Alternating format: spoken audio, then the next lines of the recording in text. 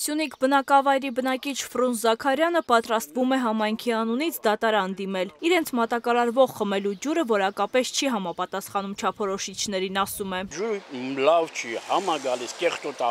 Այդ մի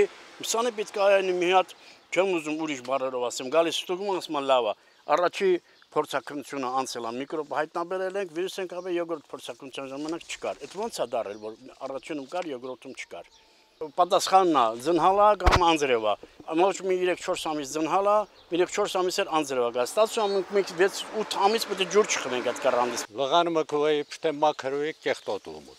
Հակառակը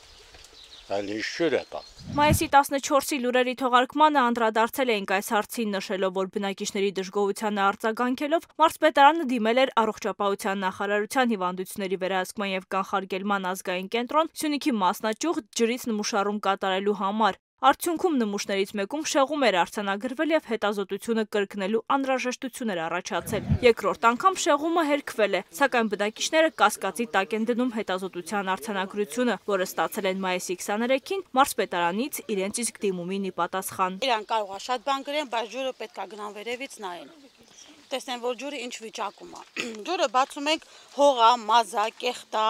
ցեխաջուրա։ Վիոլիայի բաժանորդների պահանջարկ առաջարկը հստակ է։ Ստեղծել հանձնաժողով սանեպիդկանից, օրգանից, հերոստատեսությունից, ժողովրդից, ինչու՞ չէ թող Երևանից բերեն բանը այդ վիոլա ջրի ջրի ներկայացուցիչները լինեն գնանք ստուգենք մաքրման կայանը մենք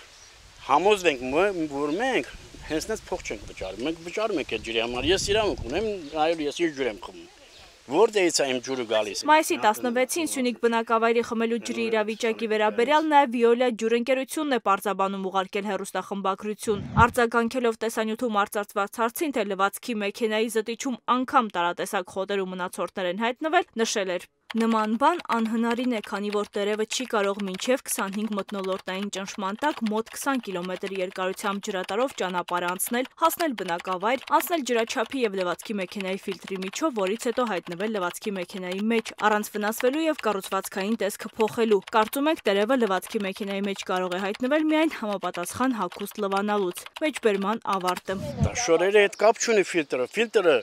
միջև լվացքի մաշին ես հանել եմ ցույց եմ տվել։ Միջև լվացքի մաշինի մտնելն է ֆիլտրը։ Այդ ֆիլտրը ես հանել եմ ցույց եմ տվել։ Այո, ճիշտ ես ասում։ Բոլոր ջրային տնտեսության աշխատողներն ում ցույց եմ ասում, դա հնարավոր չէ, կռան գահաստի բնակիչ չին դա։ Բա ինչպես է գալիս առեցված է։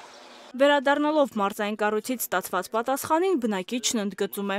Հաշնաջերի պղտորության հետ կապված արկա դժգոհությունները մարզպետի հանձնարարությամբ հարցի լուծման համար կիրառում են այլ միջոցներ, որոնց մասին լրացուցիչ կտեղացնեն ձեզ։ Կտեղեկացնեն, գիտեմ, մի տարի, երկու տարի հետո կտեղեկացնեն։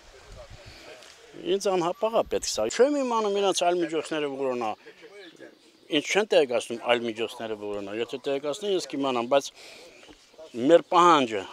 ամենասկզբից նայավ հանձնաժողով ստեղծվի, մաքրման կայանը գնանք նայենք։